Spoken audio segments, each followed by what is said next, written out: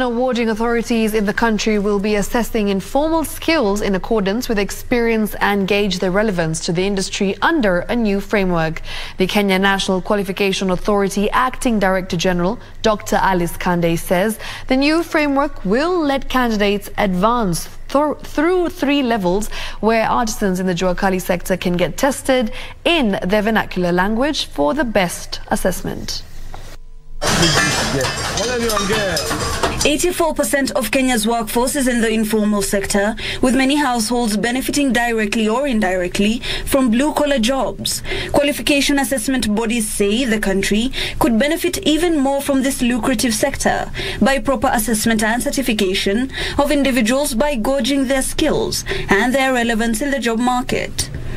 We talk about graduates that we're getting from our very many institutions in the country, but at the same time, the industry says that uh, these graduates you're placing are not really uh, demonstrating the comp- they're not bringing out the skills that we really need that are relevant. You are looking at those youth who are out there installing and they don't have a certificate they can be assessed and tomorrow they can come to you with their certificate and say, I'm an installer, I'm certified, I do this job and I've done it well. Give me another job, give me a new contract.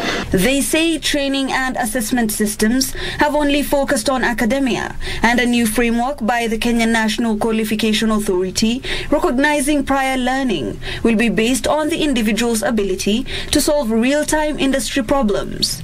Uh, in as much as we are looking, uh, overlooking aspects like uh, expression through English and Kiswahili, we also want to make sure that that person actually fits the bill to be given a certificate because they actually demonstrate that they have the competence that we are looking at. Dr. Alice Kande says the assessment process takes into account the potential employer's input during upskilling stages to ensure a holistic approach by the candidates.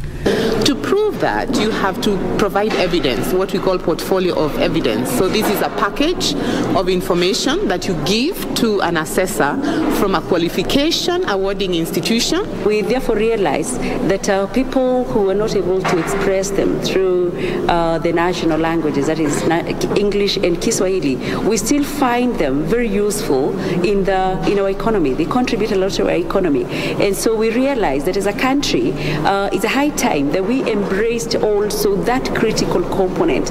She says language barrier has for a long time hindered the expression ability of artisans, and the assessment will now consider tests in vernacular languages to get the full scope of their knowledge and an accurate placement into one of the three skill categories under various programs that fully in um, in whatever part of the country, you know, will hear this and say, ah, but I know how to do this. Let me go and avail myself. The program has already registered more than 800 artisans seeking certification.